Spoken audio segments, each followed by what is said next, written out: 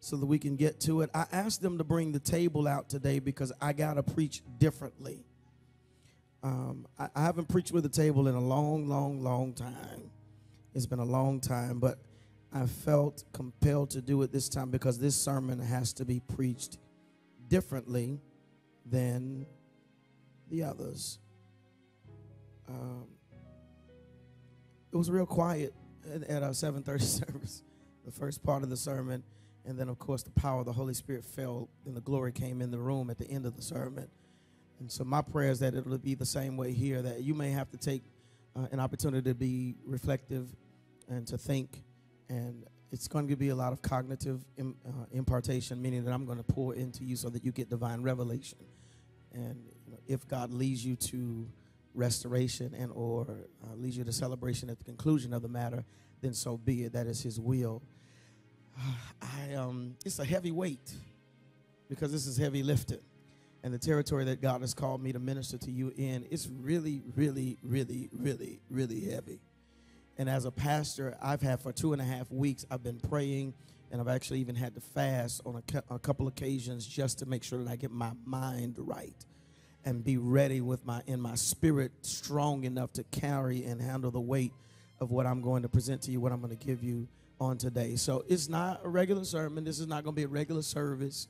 It's not going to be, you know, business as usual. There will be some things that are going to be kind of different.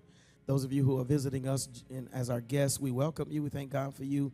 Those of you who are watching us, I, I'm grateful that God has moved on your heart that you would tune in to be a part of this process. But I just want to make sure that I assure you before we get started, this is going to be different. Tell your neighbor this is going to be a different worship experience. It's going to be different. It's going to be different. Turn with me to Luke the 8th chapter, verses 1 through 3. Luke the 8th chapter, verses 1 through 3, King James Version. There's so much information that I'm going to put into your spirit, into your hearing, into your lap today. So much information. So much information, and I want you to begin to write it. But just in case you're not able to write all of it, I don't want you to be dependent upon this. This will become a crutch because you'll say, Oh, I just get it later.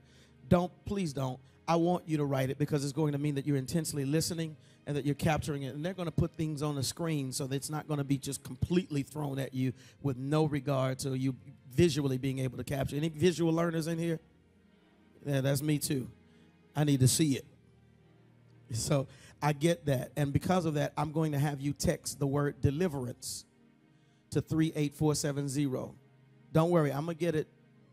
You're going to see it later in the service. I'm going to give it to you again so you don't have to write it down right now.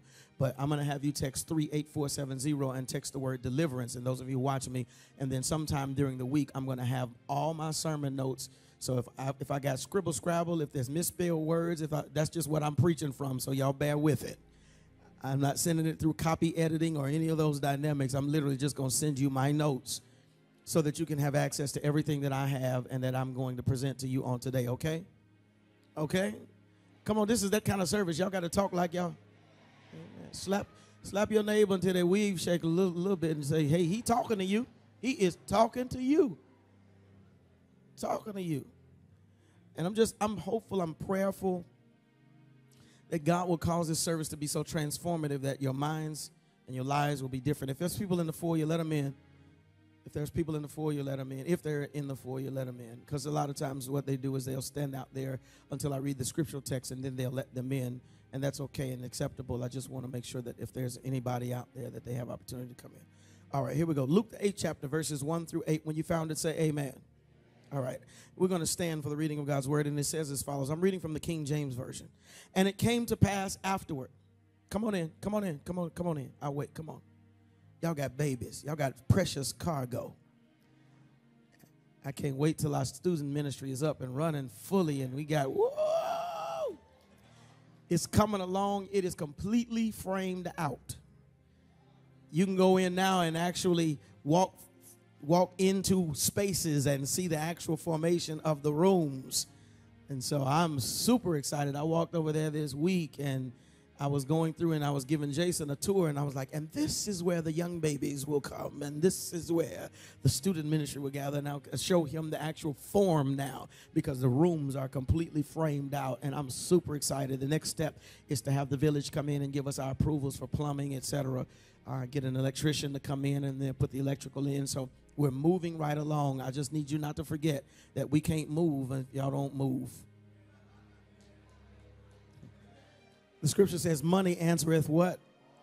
All things. And I didn't go to a bank and get a loan for this, so it is at the mercy of all of us to make sacrifices so that our babies can have the best possible facility for their space. We got comfortable situations and seating over here, so please understand we want them to have better than we have on the other side of the wall. Amen.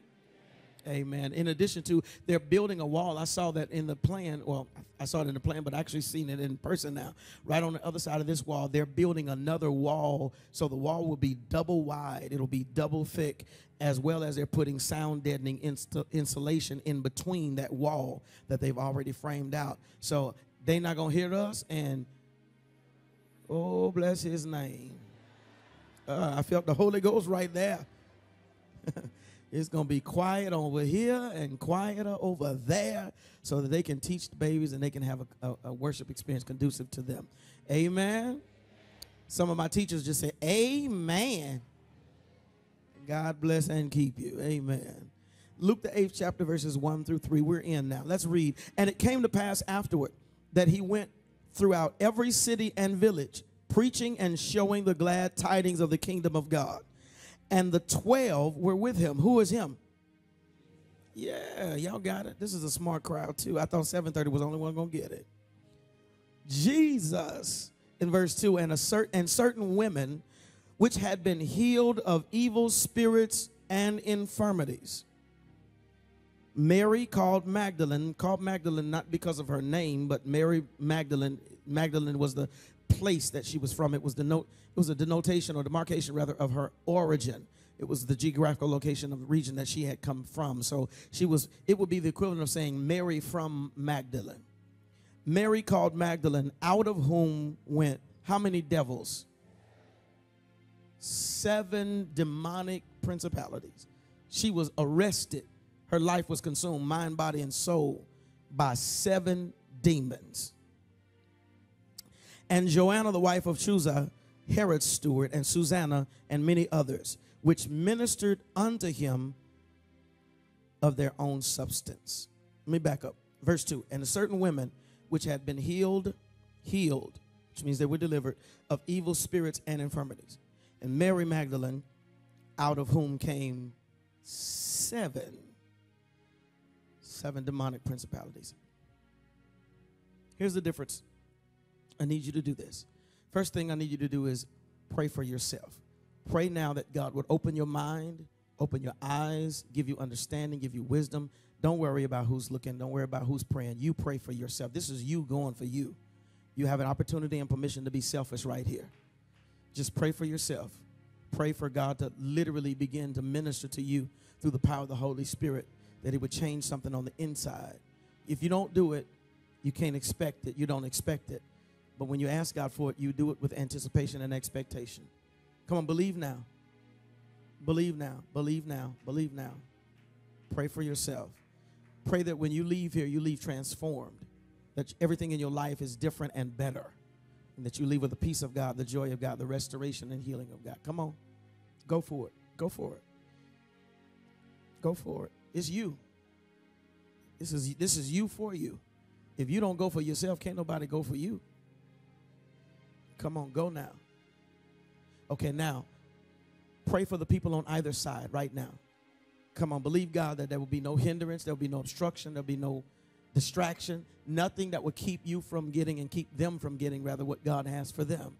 Come on, pray like it is yourself. Love thy neighbor as thyself. Pray like it's you. At home, you need to be praying for everybody in here, and here we're praying for you now in the name of Jesus. Come on, pray for restoration, for healing, for revelation, Pray that they will see clearly. Pray that something on the inside would be changed, that a switch would be flipped, and they would get the divine revelation and impartation of God's Spirit and grace upon them, that what He needs to do in them would be manifested, it would be made known, and it would be accomplished. Pray now. Come on, believe God. Now pray for the person on the other side. You prayed for this one, pray for that one. Come on, right now, in the name of Jesus. Open your mouths and pray audibly. Set the atmosphere in this place. Change the circumstance and the situation of your, of your, of your setting. Come on, the environment and the atmosphere needs to be charged with the power of prayer. Because we can't get here and we can't do what God has assigned us to do unless we got praying folks in here. So believe God. Now I need you to pray for me. Pray that God would use me, that I'd literally become God's servant, and that He would anoint me so that everything that comes out would be pleasing in His sight and that yokes of bondage would be destroyed. Come on, pray, because the Bible says if you smite the head, the sheep will scatter. So his attacks against me are really meant to keep you from getting what God has for you. Since I am the sent man, since I am the shepherd of the house, since I am the, the mouthpiece and the mantle of God is upon me to preach to you, he does not want me to be in the mind that I need to be in. But pray that God would arrest my mind and take authority over it, and I keep my mind on him, and he keep me in perfect peace. Come on, I know I'm not I know it sounds and seems selfish, but I need it because I need you to get what God has for you. In the name of Jesus. Now pray for everyone that is lost. Pray for everyone that needs healing. Come on, you got people around you. You got people in your own house. Pray for them now. Pray that God will use this moment to saturate you and that it will permeate into them and that you would start seeing the manifestation of his grace and glory upon you. Come on. Come on, come on, come on, come on, come on, come on, come on. In the name of Jesus. In the name of Jesus. In the name of Jesus. In the name of Jesus. In the name of Jesus. In the name of Jesus. In the name of Jesus. Amen. Come on and praise God for what you're expecting Him to do as you take your seats.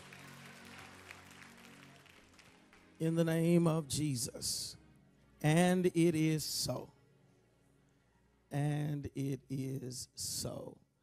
Uh, this has been an incredible uh, two week journey, two and a half week journey um, because of this sermon series alone. Um, those of you who don't know, myself and, and a couple of other pastors, we get together and we collaboratively write our sermons and put our series together because we we feel like the iron sharpens iron. We learn from one another, glean from one another. Each of us reads something different or comes across something different, and so we'll share it and shoot it to each other and say, "Have you seen this? Did you see this?" And then, of course, as God uh, individually, independently leads us, we will share it with our congregation and see the power of God and the glory of God manifested and revealed um, in magnificent ways. So. Uh, it, it, it has not just been an isolated journey, but even some of the pastors, or one of the pastors specifically, um, Pastor Chris to be exact, has already preached this and he has already testified of how powerful the outcome of this sermonic selection has been at his church. And so I know that I got a praying church. I got a praying church with a praying group of people who realize that there's power in prayer. And so if he had a phenomenal time, I said, Well, I can't wait to see what God does at victory because I know it's got to be powerful. I'm going to preach for a few weeks on this particular sermonic topic, and this will be the theme or thematic uh, uh, scriptural uh, thematic thread rather for this month. Uh, and it's it's it's a simple title, but it's a powerful title, and many of you probably will shout just by the title alone because you can testify that you've been in this place in this place or this position. But I'm preaching from a mess to a miracle. I knew I I knew I'd call somebody's number that they realized I was a mess but the fact that I'm still here with even breath in my body and in my right mind is a miracle. Any miracles in here that know you a miracle? If you know you're a miracle, tell your neighbor, I'm a walking wonder. As if you knew the hell that I've been through, if you had seen all the mess that I've been, as a matter of fact, if you knew the mess I made and God kept me through grace and through mercy, you would know that I am a walking miracle. And so I want to give us an opportunity to see it from a textual uh, uh, perspective, uh, from the text of Jesus Christ, but also from a contextual perspective, which is really in the context of our own experiential knowledge and our own life and lifestyle. That God can, God will, God shall take us from a mess to a miracle. Don't worry about it if, if you're in a bad place right now, if you're in a dark season, a down season. Don't worry about it if you're under attack, if you're in attack. Don't worry about it if the enemy has brought you to a place that you feel like you have messed up beyond repair, that there's no reparation, that there's no restoration, that you're never going to come out, you're never going to get out, you're never going to come up. Don't worry about it. Don't sweat it because I, God sent me today to, to help you understand that He will take your life from a mess to a miracle. And, and, and, and, and fret not because I, I understand that there's some people around you who super saints. Super saints, super saints, they annoy me so badly. Oh my God. super saints, y'all know who super, those of you who haven't been here and you don't know your pastor or you don't know me well enough to know what I mean. Let me break it down. Super saints are those who save, sanctified, fire baptized, filled with the Holy Ghost, and they never made no mistakes in all their life. You know, the ones that look down on you, but they're down there, so they can't really look down. They got to look at you because if, if they skeletons come out the closet, if they junk come out their trunk, if they open the door, you're going to see that they are really still in a mess and in need of a miracle. So I, I want to help us today understand one facet of this, and we're gonna we're gonna continue this this study through the month. But I want to help us begin to study it today. Before I do that, let me do this. Please help me thank and praise God for qualified, competent, capable help and I praise God for this young man of God who's incredibly anointed and gifted. And I can't wait to see what God does in his life and ministry. But last week, I had a preaching assignment that was outside of victory, and I didn't have to worry not one bit. I don't think I even had to tune in and pay attention to what was going on in the sermon because Reverend Seth held it down last week. Amen. I, I miss you already. I miss you already, but of course, I want to release him to be all that God has assigned and, and called him to be. That's why he came. He came to leave. and it's hard. It's hard being a parent um, uh, and releasing your, your sons and daughters out into the world to carry out the assignments that God has allowed you to groom and train them because you want them to stay at home forever. And First Lady has already told me that, that that ours are uh, they're going to be welcome forever and that even when they do leave the nest that she's going to have an apartment down the street. I don't think they like that idea too much but she don't seem to be changing her mind. Say it with me a mess to a miracle. Okay let's get into the heart of it. Please pay attention. I promise i'm going to go fast but i got a lot to throw at you. God give me preaching power give me grace and anointing. Let this be different let it be effective. Let it be transformative and have your magnificent way. Get the glory out of this moment. In Jesus' name we pray. Amen. Amen. So I want to talk just for a second about the state of a modern church and where we are as a people, where we are as believers. Now, when I say the modern church, I don't mean just Victory Cathedral Worship Center, but I want to make sure that I extend it to the church universal. That means every church that is uh, that exists now and that is that is, is is relevant and prevalent for preaching and teaching the gospel, the good news of Jesus Christ, that Jesus is Lord, that He's a risen Savior. We are in a, a, a condition and we are in a place in the modern church where we don't deal with one facet of our existence that is necessary, that is absolute, and that is true. And, and can I even be, you know, very transparent and very candid? We're just talking today. I need y'all to understand that.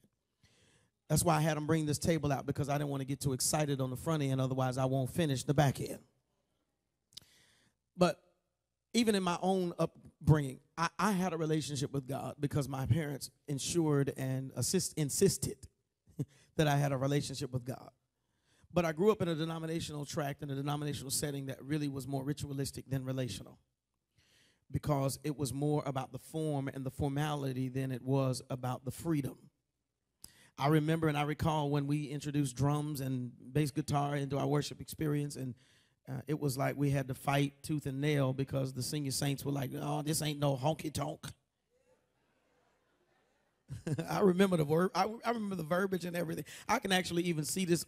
I'm sorry. I can actually even see these people's faces. you can tell that it wounded me deeply. It scarred me for life. I need deliverance. And so, but what I what I what I remember and recall is that of course it was about the rigidity of, of the process. And, and and as a result, there was no introduction of certain spiritual dynamics except that it came through um, my father or my mother. I remember coming to my mama, Mama, you remember this? Um, the day I came to you and told you I quit. I ain't singing no more at this church ever again, period. I'm done. They so dry, they so dead. They're so lifeless. They don't say amen. They don't do nothing. Then I used to be, this is my biggest pet peeve now, but I was so guilty of it back then. Then I would get up and I would fuss at the people. Y'all need to what, praise the Lord. God been better to you than this. Say amen. You, you, you don't you don't you don't do it like that. I know better, so of course now I do better. But I used to get up and when I say I used to beat the hell out of them people, I used to beat them down. Y'all act like God didn't give you breath in your body. So you know better, you do better. But what I was fighting against was not physical. What I was fighting against was spiritual. And so, what I've concluded and what I've come to the con- consensus of uh, is that this day, this modern church, the traditional church, Church Universal now, and even more so now, and increasingly every day, we have gotten to the place where we no longer understand, talk about, or even deal with the spirit world.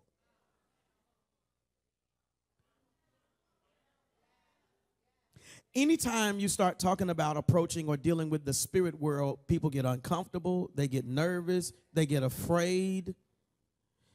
You know, some places and some people have never heard of anything called demon possession, demonic principalities, demons, spiritual warfare. No, there's some people, and no, no slight to them, but because of the culture and the contemporary culture of what we are in today and what church looks like today, there are some people who don't even know nor understand or have an inclination of heart to deal with the fact that there are people who are demonically possessed.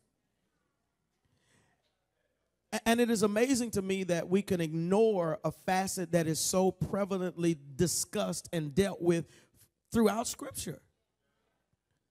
That you talk about, you know, demon possession of Uh, of, of a man and it cast out, it was cast out and sent into the pigs. And talk about the demon possession of a little boy who rolled around and had seizures and gnashed with teeth and and, this, and, and he spoke to the demonic principality and it was cast out. Talk about the demon possession of a little girl who was following behind Paul and, and Silas, and she was declaring, Hey, y'all listen to them. That telling people how to be saved, and they cast a demon out of the little girl. And of course, the owner, the slave master of the little girl, got mad because it was a spirit of divination or fortune telling, and they were, and they now it was messing with their money. You you talk about the demon possession of this woman who was in this text who was delivered by Jesus Christ, and she had seven.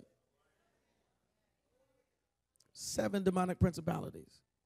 And so over and over and over and over and over again throughout the scriptural text, it talks about demon possession. It talks about spiritual warfare. It talks about demonic principalities that arrest people, that take authority over minds and bodies and lives, and, and it ruins people's in, in, internal selves, but it also destroys everything connected to them or anybody that gets in their path. And we as a church, we have gotten to the place, and I don't mean again as victory, I'm talking about the church universal. We as believers, as the body of Christ at large, we don't deal with it, we don't talk about it, but we need to begin to deal with the principalities and the spiritual warfare that is happening right here, right now, every single day of our lives. For two and a half weeks, I've had to deal with prayer and preparation. And for two and a half weeks, the enemy has fought me with every attack that he could launch in this season because he knew that if I ever made it to the pulpit today to preach this particular sermon, that the people that are watching me on the internet and the people that are in this room might stand the chance of deliverance and salvation. He knew it. And has attacked me with everything that he could possibly attack me with to distract me and keep me not focused on this, but focus on the mess and all the attacks. And but when you know and understand the spirit world you'll understand that these things are not coming at you because it's a person. It's coming at you because it's a principality. It's a spirit and it's spiritual warfare. It's a demonic attack that comes in spiritual form. My dad used to say this when i was growing up all the time. The devil is not going to show up in your at your house with a red suit on with with horns and with a pitchfork in his hand. That's not how he's coming but he comes in a spiritual way to arrest the minds and arrest the hearts of people. And he uses people to get to you to cause you to be distracted and not fulfill your purpose and your assignment. Are y'all with me? He'll use people, he'll use media, he'll use all the other things that are eh, vices that he can get access to, which really seeds through people and that's how he comes. And they and, and i want i want you to look to your left look to your right look down the road look all the way down the road. Come on come on come on come on come on.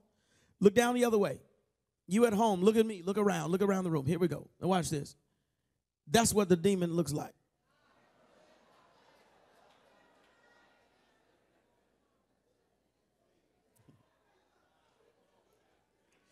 In case you don't know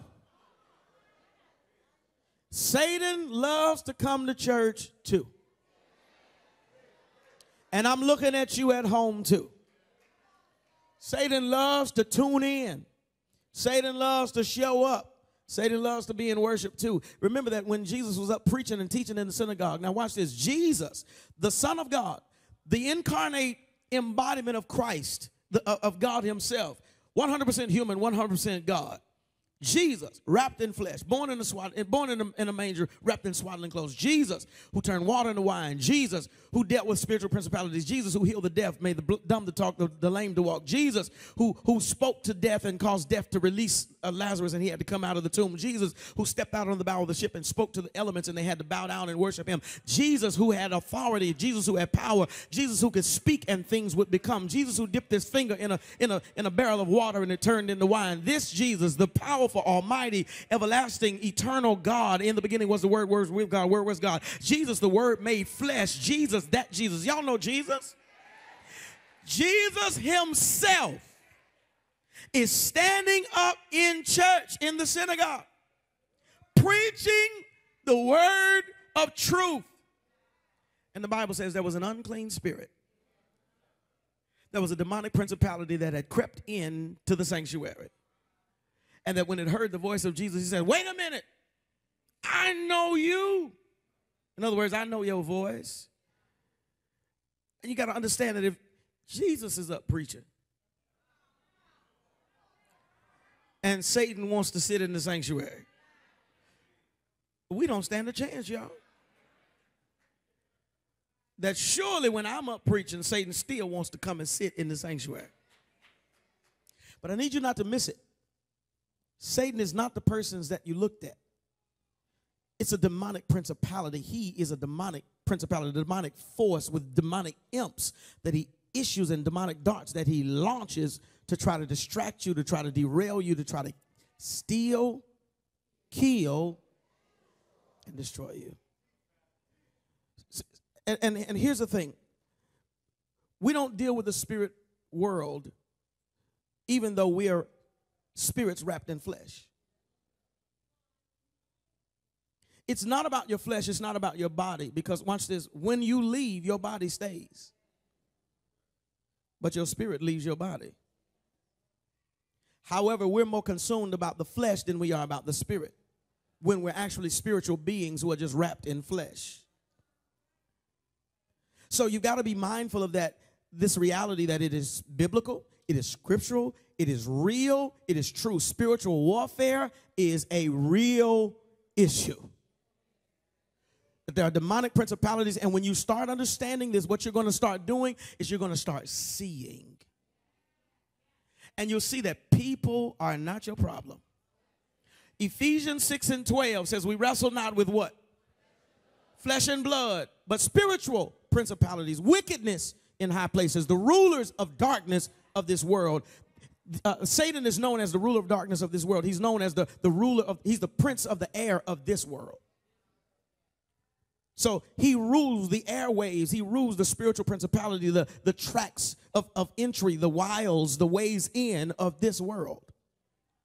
And when you start understanding and seeing it as what it is, you'll stop thinking that people are your problem and you'll stop dealing with the people as much as you're dealing with the spirit. Am, are, are y'all with me? There is nothing, and this is the other thing, because when we start talking about this, a lot of people shut down, a lot of people get afraid, and a lot of people are intimidated because they feel like, oh my God, this is deep, this is spooky. Let me tell you, I'm probably the less deep, the, the least deep person you're gonna ever meet in your whole life. I'm very practical, I'm very foundational, I'm very, I'm very transparent, but I'm also I'm, I'm also very real in in the how of this world. So I don't want you to think that it's coming from this deep and spooky place. It's just coming from this true place. It's coming from a place that we need to now wake up and start dealing with what we need to deal with and stop dealing with what we don't need to deal with. Y'all just holler if you hear me. There is nothing you have to fear. You do not have to be afraid of spiritual demonic forces, and principality. So I don't want you to walk out of here afraid and intimidated and like, oh my God, the spirits are after me. I need you to understand that you have both power and authority over every demonic principality that the enemy launches at your life. You have nothing to fear. You have the proxy of God's power through the name of Jesus Christ. And the Spirit of God that works within you gives you authority and confidence and courage. Yea, though I walk through the valley of the shadow of death, I fear no evil, for thy rod and thy staff, they are with me. They comfort me. Thou even preparest a table before me in the presence of my enemy. You anoint my head with oil. My cup runneth over. Uh, surely, just as sure as demonic principalities are coming against me, goodness and mercy are chasing me down from the other side and they're going to follow me every day of my life. I don't have nothing to fear. God has not given us a spirit of, but of love. You can't be powerful and scared at the same time. love, power, and a what? So he says, I'm going to teach you the vices and the ways of the enemy so that you'll know how to counter him and your tactics will be great. You'll have tactical strategy to know how to defeat him because he's already defeated. He's just convinced you that he's still relevant. Ah, this is going to be good. This woman had seven demons. Her life was a mess seven demonic principalities that had arrested areas and components of her life that affected, I'm sure, everything that she did. Her life was a mess. Why? Because she was filled with demonic spirits. The scripture says she was filled with seven devils. That's why her life was a mess. And you got to understand if you start seeing and seeing clearly, you'll you'll know and you'll you'll pay attention to the fact that the things that are happening around you in the world, they're happening because not because people are just losing their mind and going crazy. They're happening because demonic principalities are being released. There is a spirit of of of murder that has been loosed in the earth realm. Anytime you have an individual who can be so mentally consumed with a demonic principality that they walk into an elementary school with a loaded automatic weapon and take out classrooms full of innocent little babies. I need you not to just write it off as that's someone who's insane. But I need you to start seeing that that's, that is not just an isolated incident. But if it can happen there and then turn around and happen in Orlando and then turn around and happen in Las Vegas and then in Colorado and then the statistics look like they look in Chicago and then they look like they look. Please understand, it's not an isolated incident. It's not somebody who's crazy. It's a demonic principality that's roaming throughout the land seeking whom he may devour so that he can mentally completely take control of an individual's actions and cause them to wreak havoc and implement a spirit of murder in the land. But if you only see it as as a problem. Here's the thing, and I, I, don't I don't fault them, and I celebrate their efforts. Please don't get me wrong. I don't want you to take this the wrong way. I celebrate them being passionate enough to march for something that they believe in. That is one of the, the keys of, of, of, of, of exhibiting your authority is to be able to march. It goes all the way back to civil rights and even beyond that. That when the children of Israel came out of, of the wilderness, they marched out of the wilderness. So there is authority in there. There is there is there is a, a message that is sent. So please don't get me wrong. I don't want you to think that I don't support what they're doing. I believe that that if they're passionate about it, they should take a stance, they should march. But everybody's marching.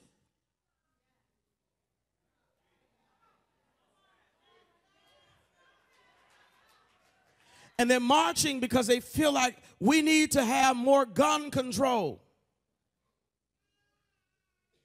But where are the people of God who realize that you can have all the gun control in the world, but if you don't get control of the demonic principalities, they'll just find another method and another way to do what they're trying to do anyway because it's not about guns, it's about a demonic principality that has taken authority over the earth realm. And it's now escalating to the fact that when I went to school, I didn't go to school scared. Only person I was scared of was my teacher because they could paddle back then. Come on, think about it. Only person I was scared of was, was the fact that they would pick up the phone and call my dad and he gonna come across the street and whoop me in front of all these people. That's what I was scared of. You, you think about it now, you can't even sit in church without having security. I need you to see the escalation of the demonic warfare. It's escalating, it's getting worse, it's opening up to now where you. I, I never grew up with a concept of security in church, armed security in church, police officers in the front yard. It, was, it wasn't something that I even could conceive when I was growing up. But now we don't function without it. Because we realize that there are demonic forces and principalities that are at war with the things of God and they're taking it out even against the people of God, where churches, man, stood outside the church and just shot up the whole congregation. Come on now. You got to see it. You got to open your eyes and see that this is not just a physical fight, but there's a spiritual warfare that is happening, and, and, he's, and he's wreaking havoc, and he's doing the three things that he promised he's going to try to do, and that's to steal. If you're with me, say amen. So today, my prayer is that God would help me to help you. Here's the, t- here's the topic, here's the foundation. This is why the enemy has attacked me so hard deliverance. The whole premise of this sermon is to illustrate, to illuminate, and to tell us that we can and that God wants to and that He will deliver us. There is deliverance. So let me help you understand what deliverance is. First of all, deliverance is the expelling of demonic principalities, forces, or demons. It is release from demonic attack. Deliverance. It is when deli- it is when demonic principalities are served their walking papers and given their authoritative notice that they are evicted from your life. That's what it means to walk in deliverance. And, and in order to do that, let me deal with the seven d- demonic forces. And, and please know that this is not an exhaustive list, this is not complete. These are seven that we have come up with and we've concluded are the most prevalent that are existing in the church and in the universally in the body of Christ now. First of all, there's a spirit of antichrist anti, the spirit of antichrist is it has one focus and one focal point and that is to remove jesus christ. It's not overt. Many times it's subtle and it's even covert. But it is prevalent and increasingly so that everything around you is trying to remove christ from the equation. Y'all can see it. It's, it's, it's in everyday colloquialism and it's in everyday contemporary vernacular there, there was a time when we used to say Merry Christmas. Then it went to Merry Xmas. And now it's just Happy Holidays. Because there was an effort to remove the Christ out of Christmas. Easter is no longer about Easter, it's about Peter Cottontail or the Easter Bunny or Easter baskets or Easter eggs. And to show you how twisted we are and how much we've been consumed, we will highlight and celebrate a rabbit that lays eggs over a Christ that carried a cross. It's all an effort to remove Jesus from the equation. And this is not a new fight. This goes all the way back into a biblical era when King Herod issued a decree to kill all the babies, the newborn babies in the, in the, in the nation that were two years old and younger. The effort was to try to kill Jesus Christ. And so it's not a new fight, but the spirit of Antichrist has been ongoing and fighting us even from the day of Herod. It's just now escalating his efforts. The enemy is escalating his efforts and he's causing us to get to a place where we are we're not even recognizing what it is anymore. We're just we're wanting to be politically correct. I can't say that. I can't really mention the name Jesus because it's not politically correct. We're more consumed and concerned about being politically correct than we are scripturally correct. And we're more consumed and concerned about offending somebody than we are helping somebody receive deliverance. Are y'all with me? Spirit of Antichrist, another spirit that is attacking the church, is the spirit of compromise. You can no longer even tell what people really believe. They'll say things like, I know what the Bible says, but you know, this is the modern times. This is the new time. This is a new day. I know what the Bible says, but this, you know, that's old, that's old school. That's old fashioned. And, and we've gotten to the point where now the compromise is so significant that we don't even call sin sin anymore. We call it a weakness. Well, you know, you know, it's my struggle. That's, that's just my weakness. No, that's your sin. From the pulpit to the back door, sin is still sin. It's still sin. It's still sin. It's still sin. It's not your weakness. It's your sin. And the reason that God would give us instruction that we should not sin, please understand, he does, it's not that He does not want us to enjoy ourselves, to have a good time, to have a praise party, to, to really have a, a, a great time Uh, and enjoy life. He said, I've come that you might have life and that more abundantly. He didn't say, I've come that you might have a dry, dead, boring, mundane life, but abundant life. So him telling us that he does not want us to sin is not because he's trying to keep something from us. It's he's trying to keep destruction from us. He realized that sin destroys everything that it touches. And so to keep you from being utterly and consumed and destroyed, he, he then prohibits you from participating in that because he knows what it will do to you ultimately. But then when you don't admit that, you are now operating in a spirit of rebellion. The spirit of rebellion, you know it's wrong, but you just choose to live that way anyway. And I've heard people that say things like this, you know, this is just where I'm at right now, Pastor. It's just where I am. You know, I'm in, I'm just in that place right now. You know, I'm I'm I'm a work in progress. This is this is where I am. And when you begin in the spirit of rebellion, here's another here's another one that that is attacking the the church of Jesus Christ, and it's sexual sin. You have people that sit right here on your row who are addicted to sex and addicted to sexual uh, uh um, implications or pornography and and other things that are sitting right here in the sanctuary, right next to you, right now, on your road, right now, right now. Watching me online right now. And, and we don't talk about it, we don't deal with it, we don't discuss it. We sweep it under the rug and act like it's not an attack. But it's an attack. And so, so you know, just to break it down for you, sexual sin is any any any sexual activity, any sexual escapades outside of the context of marriage is sexual sin. Are y'all with me?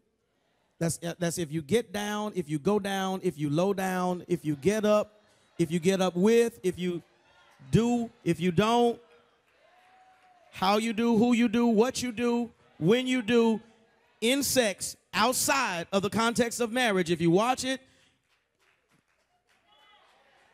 if you fantasize, I got to break it down because y'all act like, oh my God, I don't, oh my goodness. No, no, no, no, no.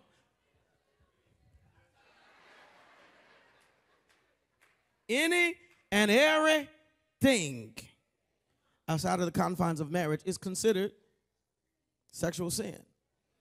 And there are people right in, in, in, line with it that are being attacked right now, which says that there's even a need for deliverance here in the church. Another one that, that causes, that, that, that is a, uh, a derivative of this concept, another attack that is being launched against the body of Christ is greed. It's the inability to be satisfied. And here's the danger of greed the danger of greed is it's attached to slavery. Slavery, in our context and for our understanding, is debt. And we've even gotten to the point where we're now excusing slavery or excusing debt, that we've now mislabeled it, and we have what we call good debt and bad debt. But here's what the scripture says the Bible says that owe no man nothing but a debt of love. So anything that you owe is actually enslavement. Good, bad is slavery. You can mislabel it or label it however you choose, but the Bible says that the borrower is slave to the lender. And so now it causes uh, the, the spirit of greed causes us to want more even when we have enough. To the degree and the extent that we will go and we will enslave ourselves to get more when we already have enough. Are y'all with me? If you can't say it, man, just say ouch, because I know I'm in your row right now. I'm in your section. I got it. Can you get sick? Can you can you miss work? Can you miss a check? Can you stop and not make a payment? No. Because then the slave master comes, blows your phone up, sends letters and messages to your house, hunts you down, tries to find the car,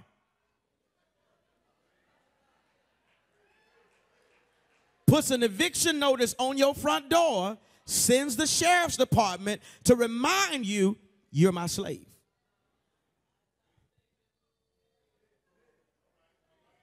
Here's how greed creeps in in this way. The world has fed us a system that says the more you have, the more blessed you are. The, the bigger your house, the bigger your bank account, the more of the fashion brands that you have. It's always amazing to me the people that have money don't you don't even know they have money. They wear the most raggedy clothes, drive the most regular car. You don't even know it. But because we we have become consumed by the spirit of greed that has attacked the body of believers, now we will go into slavery in order to impress people that are just as enslaved as we are. The Bible says that the blessings of the Lord maketh rich and what? That no sorrow people peace does not just mean that I have the ability to, to pay it, but the no sorrow peace means that it doesn't affect my entire life. If I don't, if I miss something, then I, and I and I have to, if I'm if I get sick and I miss work, I'm not stressed out on how I'm going to do whatever I got to do. That's the no sorrow. Then the next spirit that attacks the church, another spirit that is attacking the body of believers, is idolatry. Because once you start getting all these things, you then begin to worship something outside of God. An idol is anything that you put before God. Let me say it a different way. Anything or anyone that you put before God is an idol. And if you worship that thing, you are an idolater. The spirit of idolatry has ransacked us to the extent that now we'll put any and everything before we put God. It's amazing to me that as pastors now we have to kind of think through, schedule around. I don't do it, just so you know, but pastors in general schedule around and position our worship experiences, events, functions, godly, God led, God centered, God focused. We now have to be considerate of when they're having a football game, when the basketball championship is coming on, how long the services are, irregardless of it's a, if it's a move of God or there's a powerful revelation that needs to be imparted, we've got to work around the other gods.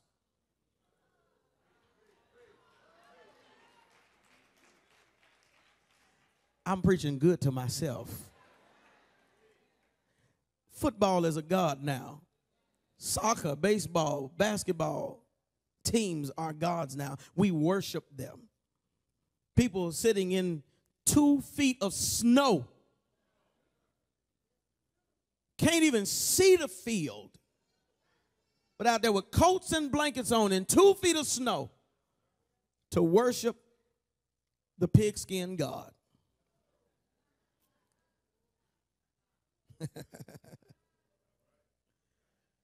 we worship our sororities and our fraternities. We got more pride about our fraternal organizations than we do about our Christian brotherhood and sisterhood. We wear our letters big, bold, proud with all our colors on there. We'll fight over them colors, but we won't fight over the cross.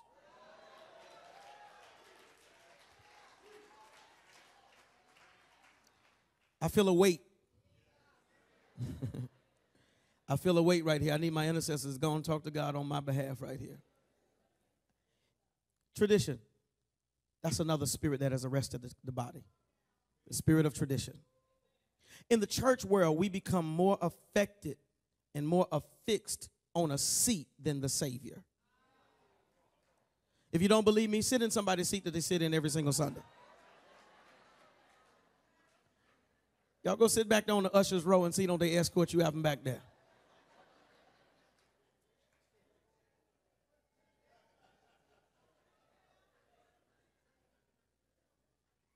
More consumed with who's sitting where and who's in my seat than we are with somebody. Please take, take the seat because if you need Christ, I need you to hear him. I need you to feel him. I need you to get him. I'm more consumed about that. I'll stand. Matter of fact, I'll go stream. I'll go outside and give you up my seat because I want you to be able to receive this word that you need in your spirit and your heart. Are you with me? We're more consumed with the method than we are the message. Let somebody get up here and have tattoos and piercings and, and, and, and watch how the super saints shut them down before they ever open their mouths to speak. I, I, I get frustrated when, when people are so saved and so consumed by the spirit of tradition that they refuse to change their methods in order to get the message in the hands and the hearts of the people that need it the most. Never forget when I started the church because I dressed like I dressed, and I dressed even worse, I guess, is in their perspective. Because I wore warm up suits, I had on Jordans, I had on Jordan jogging suits. When I first started church, it was all casual. I mean, when I was casual, I was this is dressed up. This I might as well have on a three-piece suit today. Because when I started the church, it was real casual for me. But the older I got, me and my kids start wearing the same things. I knew it was time for me to change over. I said, no, one of us got to go. I'm to let y'all have it. I go back every now and then just to visit, but I ain't to live there. And so I, I remember that uh, somebody approached me and said, You don't look like a pastor. Well, that's because that person was consumed by the spirit of tradition, and a pastor only looked one way. I ain't wearing no clergy collar. If I wear a clergy collar, one of y'all done died. I ain't putting on no robe, it's too hot. And my presentation might be at a table and not at a pulpit podium. And my podium is made out of metal, not that big hunky piece of wood that does not move that we grew up looking at that big old cross that's etched in their own, and we don't have no communion table down here every Sunday. But people who are consumed by the spirit of tradition are more caught up in the method than they are the message. Are y'all with me? We can get into traditional styles of worship where there's never a variation, there's never a change. Everything is ritual and nothing is relational. Nothing causes us to experience the move of God. But here's the thing you, you, when you do that, you learn to do church without God. And when you do church without God, you do church without the power of God. And the power of God is the only thing that can change a man's heart. But because of the spirit of tradition that has arrested us, we refuse to move when God moves. And the end result is that changed lives don't ever happen because we don't change our methods. Now, the message never changes. It's the word of God, it's the truth. It shall remain. There was a pastor who dressed up like a homeless person. He was the new pastor of a congregation. And he came and he sat at the back steps of the church.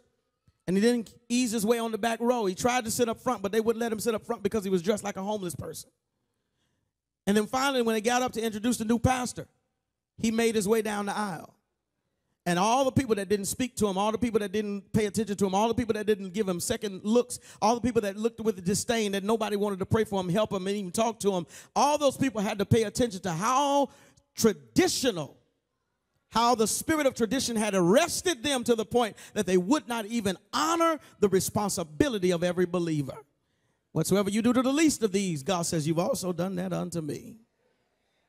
But the spirit of the Bible says this that, that, that tradition makes the word of no effect. Because you, you get so caught up in the ritual that you lose your relationship. Let me help y'all out. Quit talking about my people up here on stage. Quit worrying about what they look like and start listening to what they're singing. Let me say it one more time in English. The spirit of tradition kills the move of God. Here's the thing that you don't understand. You don't know where these people came from and how close they were to suicide, to death. You don't know how far they've come on their spectrum of achievement. And if you can't see that, then there's no reason for you to be judgmental about where they are in this season. Because if you had seen them in last season, you would understand that where they are now is an improvement because they were a lot worse where they came from. You worried about their clothes in the sanctuary now, but they didn't have no clothes on when they were twirling on the pole. Let me let that just sit for a minute. I feel the Holy Ghost right there. Here, here's the thing it takes God to break down a man's heart by revealing himself to them. I can't preach enough, pray enough, sing enough. I'm not powerful enough. I'm not able without the grace and the glory, the anointing of God, which destroys yoke, to come on my life. I'm not able to cause anybody to see where they're wrong. But you let the Holy Ghost fall on my life you let the anointing of God take over and take authority of my members. And there'll be people that are laying at this altar on their face because they realize and they see from the power of God that there's a need for transformation and change lives. Are y'all with me? Here, the, the, presence of God is a drawer, but when you get caught up in the spirit of tradition, you stop drawing. And when the spirit of God gets on us uh, on a life, it changes things. Here's here's what tradition does. Tradition tradition is to say we live where God was, not where He is. We master the old move. When the new move comes, we'll say that ain't God. That ain't church. That's not a pastor. That's not what they look like. The old move fights the new move. And it's because we have done it for so long without God that we don't even recognize God when He's moving. Y'all praying? Watch this. I remember a time when we did devotion. I am on the battlefield. You had the deacon to come out, he pull out a chair. He kneel, he stand, he kneel, he stand. I remember we did devotion. But then there was a move of God in the body. And we went from doing devotion to praise and worship. Instead of talking about where we are, where we came from, and how rough it is, now praise and worship is more God centric. It changed from this way to this way. It's now vertical. And it's more about Him than it is about us. And when that shift happened in the body of Jesus Christ, watch this, you had people who fought it and who still can't get with it because they don't realize there's been a shift in the body. And they're so consumed with how things are supposed to be. The Bible says this about the letter of the law the letter of the law killeth, but the grace of God gives life. You've got to have a balance. You have to have the letter of the law, but you have to mix it with grace. And when you do that, it'll cause you to sense and perceive when the shift happens and you'll begin to shift with it. There was a time, anybody remember five night revivals? Your church had a revival this week. The next church had a revival this weekend. Everybody had a five night revival. There are people who call me now want me to do a five night revival. I said, No, God moved. Oh, no, no, no. He has moved away from that on my life. I followed the shift. Y'all ain't killing me. I do five nights and I got to come home and do all this. No, no, sir. Uh uh-uh. uh. you all come let me do one of them nights and I'll be a blessing to your ministry. And, and then it went from five night revivals, and then you remembered we there was a, a whole movement that, that shifted in the body where everybody was having a conference. Then you had Azusa. Then you had Woman Out Loose, Manpower, Megafest. And every individual church had their women's conference, a men con- everything went to conferences. And now there's even a new movement where you got leadership trainings. You got church trainings. But people are doing trainings now and they're teaching and they're and they're and they're equipping you with different things. There have been movements and shifts, and that's why you can't stay. You have to stay in the presence of God because if you don't have the glory of God, you'll miss the shift. And to live in spirit of tradition, it means that you live in a dead place. Now, I'm going to help you here. I got to rush. I'm, I'm, I'm so far over this time. But there are seven ways to determine whether or not you need deliverance. I'm going to run real fast, so I need y'all to get with it. And again, if you text me, I'll give you the number again at the end of service. I'll, I'll send it to you. Seven ways to determine whether or not you need deliverance. First way is, first of all, emotional problems. That's disturbances in your emotions that are persistent, that are ongoing, that are you can't get rid of it, you can't break it, you can't get, get it out of your spirit. Here's some, here's some characteristics of, of what I mean when I say emotional problems resentment, hatred in your heart, anger, fear, rejection, feeling unwanted and unloved, self pity, jealousy, depression, worry, inferiority, and insecurity. Emotional problems. Secondly, is mental problems. These are disturbances in your mind or your thought process of your life. Mental torment. Watch this procrastination, indecision, compromise, confusion, doubt, rationalization, and the loss of memory. You need deliverance. Speech problems, uncontrolled use of your tongue, lying, cursing. I need deliverance. That was personal. Blasphemy, criticism, mockery, railing. That means you just go on tangents and you do not let up. Gossip, you need deliverance. Sex problems, fantasy sex experiences, masturbation, lust, perversions, homosexuality, fornication, adultery, incest, provocativeness, harlotry. You need deliverance. Addictions. The most common addictions are, are, are these nicotine, alcohol, drugs. I'm going to add sex, medicines, Starbucks. I'm sorry, that's not how it is in my notes. It say caffeine right here. And food. You need deliverance. Physical infirmities. Many diseases and physical afflictions are due to the spirit of infirmity that has attacked your body. This is when you, the doctors can't even medically understand and explain why you're experiencing and dealing with what you're experiencing. It might then be that a spirit of infirmity has arrested your body and you can't seem to shake it, but they can't seem to explain it. That's a good cue that you might be wrestling with a spirit of infirmity that has come against you. And when a demon inf- uh, uh, uh inflicts pain from a spirit of infirmity, it leaves damage physically in your body. And you have to play, pray for even physical healing as a result of that. Then there's religious error, and that's just false doctrine, false teaching. You've fallen in line with compromising theological doctrine that allows you now to believe a portion of this, a piece of that, and a piece of that, which is all in error. If these are the things that you see, you need deliverance. Now, my guess, I would venture to say, that in this room and even watching me online, in some of this, you have seen that you need deliverance. Let, let's be real. You've seen something in all of this that makes you know, oh, I need deliverance. As a matter of fact, some of you all didn't just see something,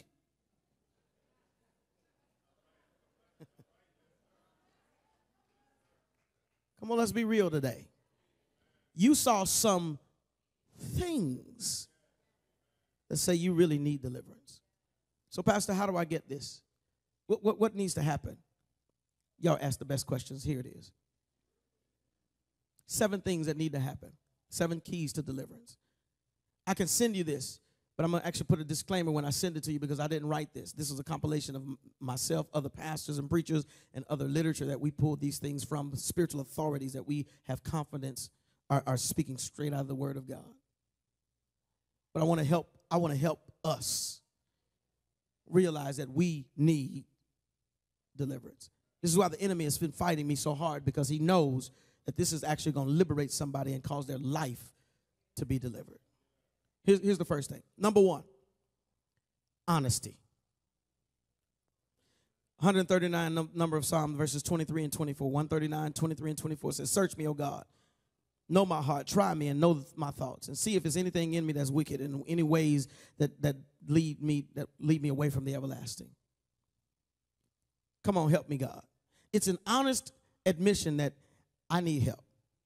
It's a confession you have to come to a place where you accept what's going on in your life. Any program that you participate in, any psychological program, any any self-help program, any any program that you even participate in in a secular, they're gonna uh, they're gonna first and foremost say the first step in your recovery is that you got to have admission. you got to confess that you have a problem, that you need deliverance in this area of your life, and acknowledge that it is something that has a grip on your life. You all, listen, I need y'all to hear me. I have figured out in myself where my areas of sin are. And so the first step in recovery is I got to admit I got an issue right here and i have to i have to confess that the key to change anything is to confess it or admit that it is a problem.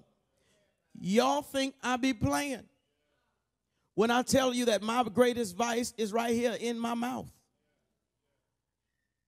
I, I need you to understand that i don't say that to be comical and whimsical but i say that because i recognize and confess i need to do something about this.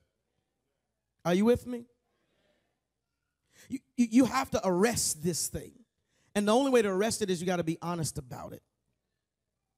Well, let me tell you, and, and, and confession is confession is necessary. The Bible says if you confess your sins, then he is faithful to forgive. Forgiveness comes as a result of, of confession. But let me tell you why people are, are reluctant and hesitant to confess. Because there's a the body of Christ has a weak immune system anytime you have an infection or anytime you have a, a, a, a harmful element introduced inside the body, anytime you get a cut, there are cells that the body will send to that site to fight off whatever disease, infection, whatever, whatever cut, whatever ailment, they'll send the right cells that will heal itself. Your body heals itself. So the reason that people in the body of Christ are slow to confession is because the body no longer heals itself. They're not going to make confession because they're afraid of your judgmental response. And they don't know whether or not you're going to pray for them, stand with them, be with them, cover them, shield them, protect them, and help them into a place of healing, or if you're going to use whatever you get to kill them. And so, because of that, they're reluctant to get to the place of confession. And you know, and, and, and again, that's why I tell that's why I tell my own struggle because I don't care. I, you know, whatever. At the end of the day, what I figured out is that God will implement the grace of deliverance. And if you're not careful and cautious, it will cause, if you're not willing to confess that and be honest about it, you will never even acknowledge what you have and you will never be released from what you have. Are y'all with me? I knew it was going to be quiet in here. Wasn't nobody going to say amen on these. That's all good. Amen. Preach, boy. I'm going to tell myself. I, I had to think about it and pray about it, but here it is. So, this this particular area, because I admit that it is a it is a it is an area that I need deliverance. I have I have literally watched how the enemy will take that and he'll he'll try to flip it and he'll try to use it and he'll slowly ease it back into your normal habitry until now it's manifested and you execute it and you exercise it and it becomes damaging and harmful. I told y'all what mine is. I don't drink, I don't smoke, I ain't gay. Come on. But this is a weapon. And if I don't take authority over it, if I don't get control of it, if I don't tell the people around me to hold me accountable, it'll become comfortable and I'll just slip right back into a conversation that I'm really not supposed to have. I see, and it's, it's, it's, it's always amazing because then people look, oh my God, I can't believe that he does that. Oh, goodness.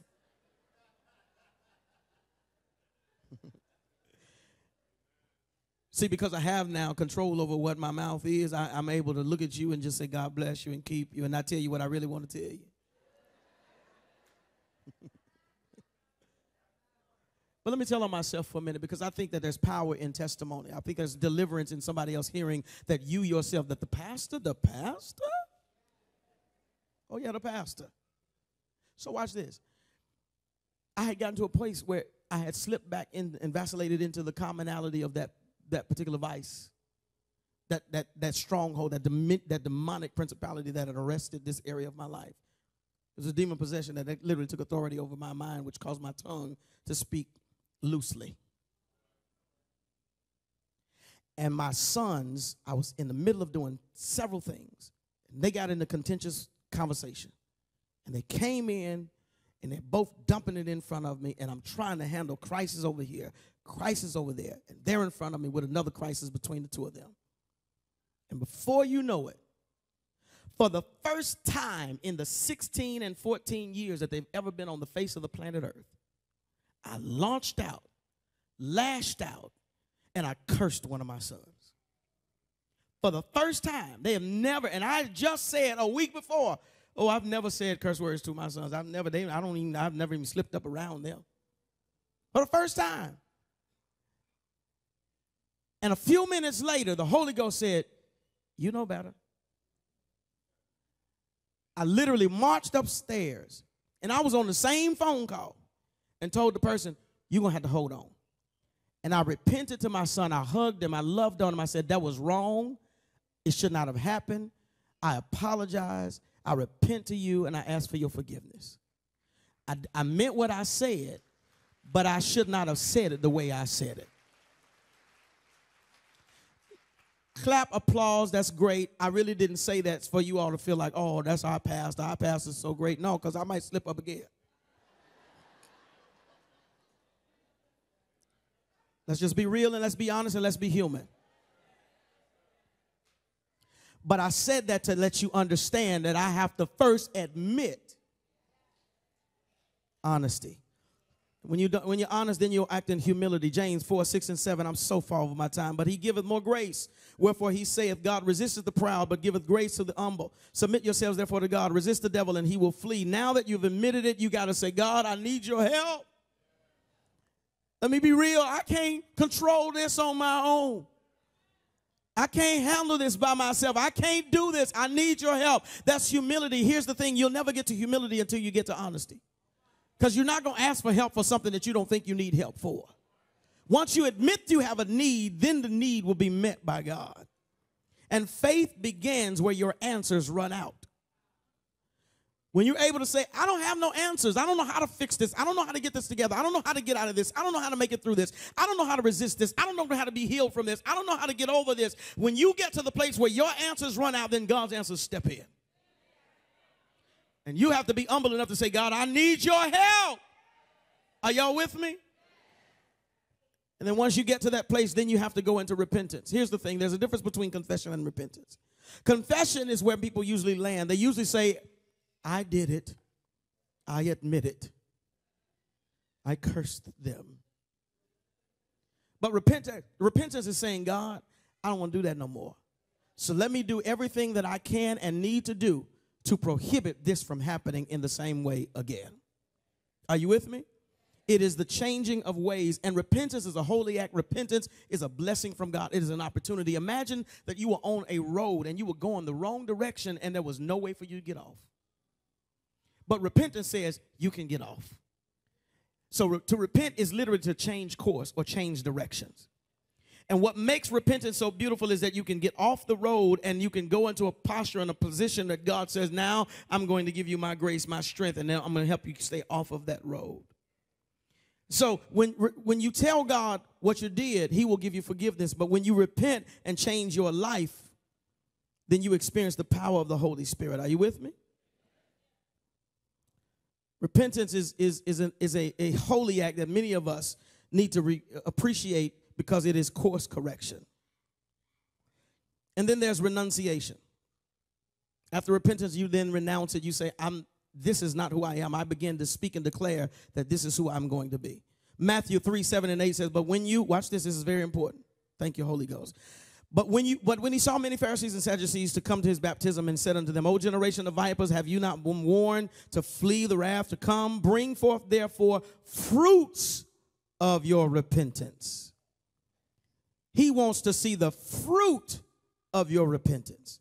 This means you might have to now take a year off of Facebook, Twitter, social media, Snapchat, Instagram. Yeah, it just got real right there. You, you, might, you might have to change jobs. You might have to lose friendships.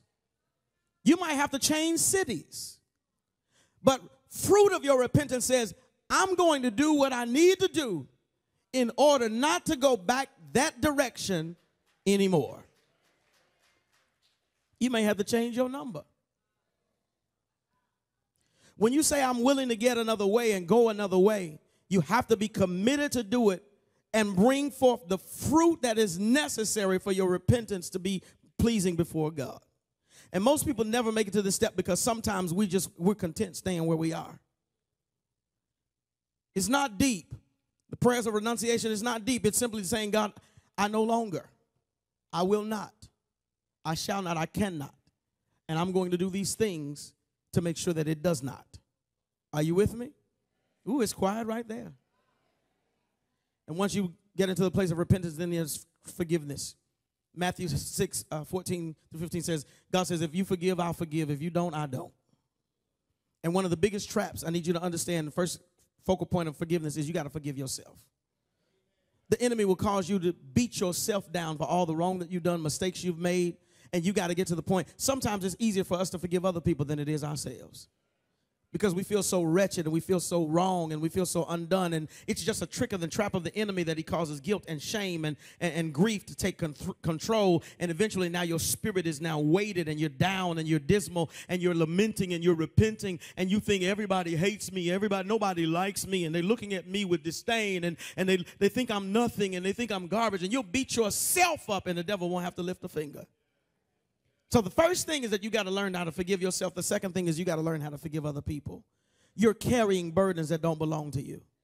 You're carrying the weight of hatred and and and and and here's the thing. You got to go to God and say, "God, I need your help. I can't I can't let this go. I keep getting mad about it. It keeps coming up in my conversation.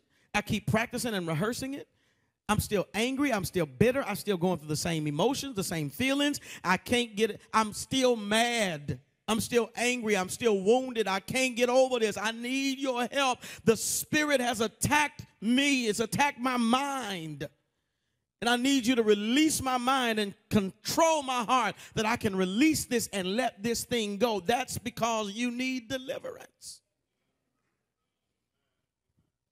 Thank God you didn't die in it. Because there's some stuff that should have killed all of us but he forgave us and gave us grace. See, where I, I, saw I saw John Gray say this say this last night, where karma should kill us, grace catches us.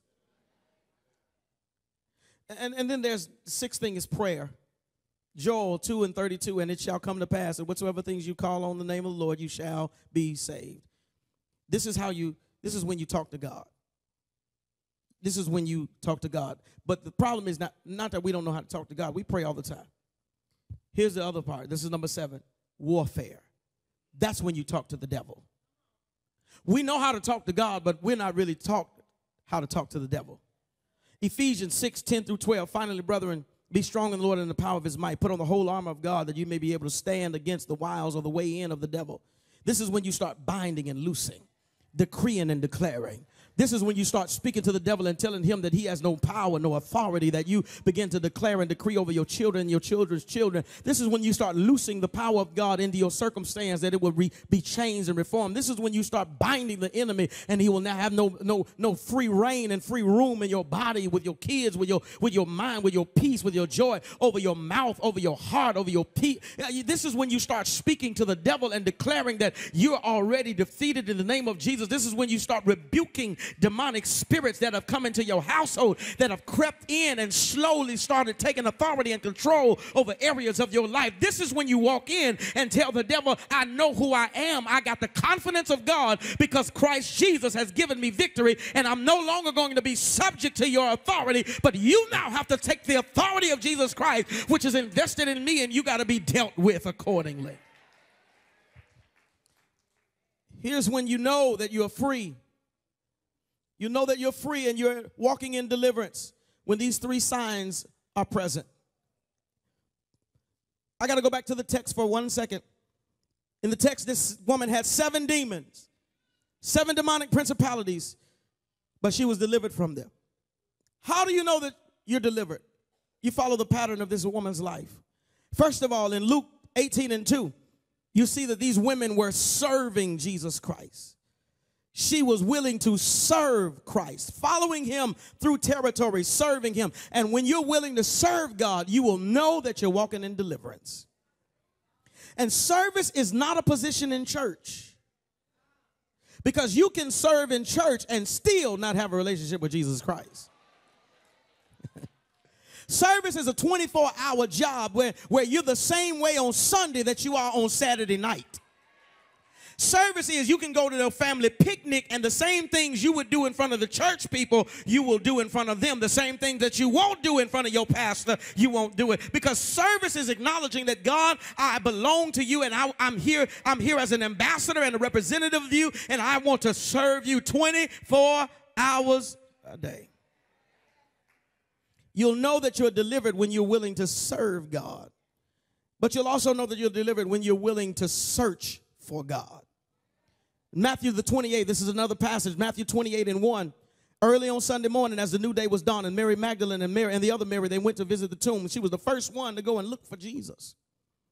And when you really are delivered, you start seeking Him. You want more of Him. You got a prayer life. You get up in the morning saying, God, before I brush my teeth, before I get out of this bed, before I do anything else, let me see if I can find you in this place. I need you in my day. I need you for my kids. I need you in my life. You'll seek God in the daytime with a flashlight. You're always trying to figure out where can I get more? How can I get more? You're thirsty. You're hungry for the things of God. When you really are delivered, you nobody has to push you, remind you, prod you, or prompt you.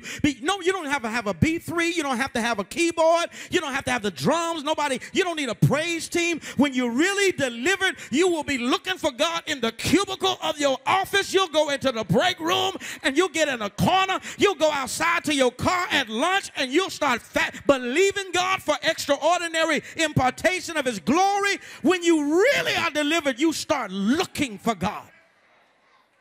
You literally want God. I need more, more, more, more. God, more. I can't get enough of you. I, I need more. I need you. I need you. I need you. I need you. I need you. I need you. I need you. I need you. I need you. I need you in my life, in my in my business, in my body, in my mind, for my kids. I need you. I want you. I, I, I'm longing for you. I'm yearning. I'm like a deer that's panting for the water because the water is where I'm safe. The water is where I'm refreshed. The water is where I'm kept. The water is where I need to be. I'm looking for you, God, in every turn. I want you. I yearn for you. I need you. I know I need you more in my life. That's when you'll know that you're walking in deliverance. And even the cares of the world will come against you and try to keep you from wanting God. The distractions of daily life will pro prohibit you from wanting more of God. And then lastly, you'll know that you're delivered when you're willing to share what God has done.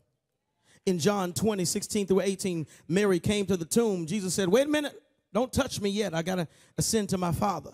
But turn around and go tell the, the disciples, go find my brothers and tell them that you've seen me and tell them what you've, what you've experienced. Here, here's the problem many of us can't walk in deliverance because we won't tell people how we've been delivered. You'll know you're delivered when you don't care who knows your issues. Come on, somebody. You'll know you're delivered when you can testify of what you've been through, what the mistakes you made, and the fall, your failures, and shortcomings and shortfalls of your own life. You'll know you're delivered when you're walking. He whom the Son sets free is free indeed. You'll know you're delivered when you can walk in and say, Yep, this is what I did, but thanks be to God, I didn't stay where I was, that He brought me out. If it had not been for the grace and the mercy of God, I never would have made it this far. I should have been I would have been and I could have been, but by the grace of God, she went and told the disciples everything God had experienced. She had experienced with Jesus and what she had seen. Here's the problem y'all are too tight lipped. You too saved and caught up in yourselves and your image. You too sanctified and too holy and too pious to be honest with the fact that you got issues, that you need deliverance, that there are things in your life that God needs to release you from, that there are areas in your life that you still have a struggle, that the enemy is a trying to arrest your body and your mind. And if you ever get to the point where you stop and throw off the garments of all of your self righteousness and put on the garments of humility and start being candid and say, God, I messed up, toe up from the flow up, but I know that it was you that brought me. I'm still here. I need you to testify. I'm still here. I've fallen, but I'm still here. I made mistakes, but I'm still here. I've fallen short, but I'm still here. And when you start talking about it long enough, what's going to happen is the Holy Ghost is going to hit you, and a spirit of appreciation and gratitude is going to overtake you until you can't help but to give God the kind of glory that He deserves. I just need about 30 folk in here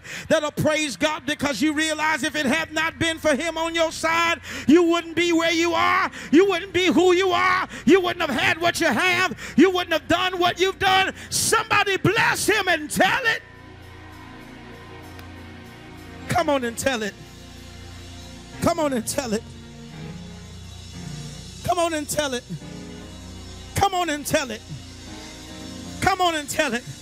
They're going to know how much you've been through just by looking at how much you praise. Come on and tell it. They're going to see what he brought you out of just by looking at the level of your shout. Come on and tell it. He delivered you. Come on, tell it. Come on, from a drug life, tell it. From prostitution, tell it. Come on, tell it. Tell it in this place. God did it. God did it. God did it. God did it. And I'm still here. I'm still here. I'm still here. I should have been. I would have been. And if you had your way, devil, I could have been. But I'm still here.